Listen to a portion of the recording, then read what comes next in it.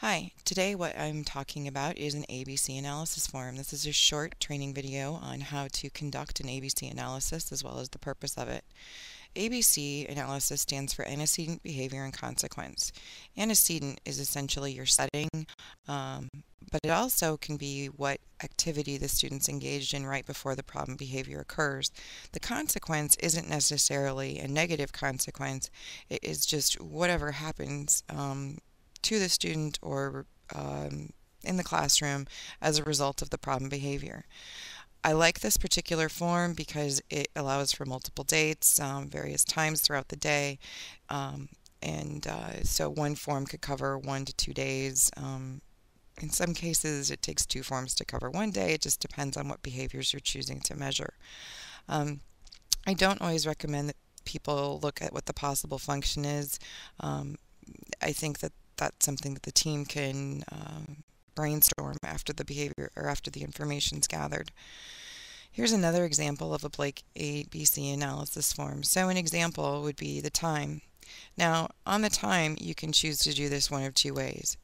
Let's say what you're looking at is an incident of aggressive behavior like a student hits another student. In that case you may just have a simple date, you know just a, a one time and maybe the antecedent was it was a recess. Uh, students were playing um, tag, for example. The behavior is um, XYZ hit um, appear in the arm. The consequence could have been peers quit playing with the student or uh, and student had to stand at the wall for the rem remainder. That would be an example of maybe more of an elementary student. The other thing that you could be looking at on the time is the duration. So let's say we're going from 10:30 and the behavior lasted until um, 11 o'clock the antecedent could be something like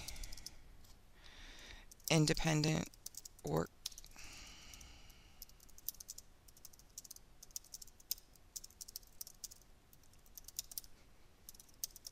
So let's say it's independent work time on a math assignment. The behavior could be refuses to work sits passively does, um, you know, not complete assignment.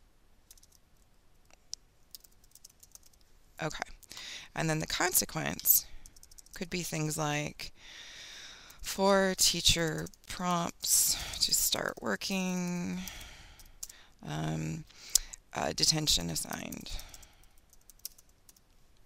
Or it could be failed assignment however you would um, like, you know, whatever happens as a direct result of the refusal.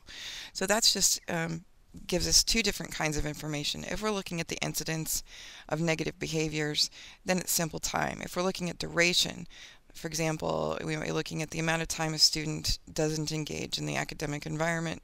Um, this would give us eventually, you know, the number of hours or the percentage of the day.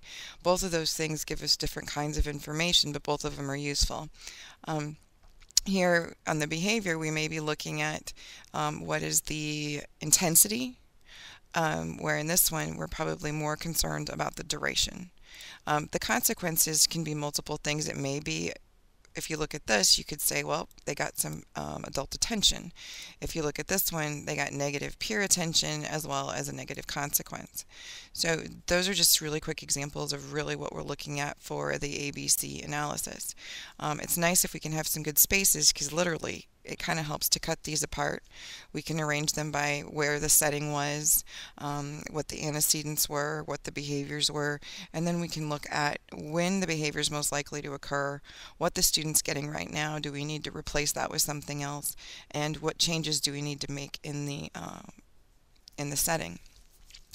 This is an, this is again the example that I appreciate a little bit more, um, and I'll provide links to this form or email you this form. The other thing is I really liked this website. Um, I'll provide a link to this website. Um, and what this is, is it is actually a two minute video where you're asked to sit with an ABC form and observe the student sort of to practice um, gathering that kind of information. It's up to the team how frequently and how often you keep this data. Ideally, we try to capture every single behavior, negative behavior over the course of either a class period, over the course of a day, or even sometimes over the course of a week. Um, that allows us to average all of that and really make some good decisions about what the baseline is what the function of the behavior is, and also to more clearly define what the problem behaviors are. If you have any questions, feel free to leave comments below or shoot me an email. Thanks.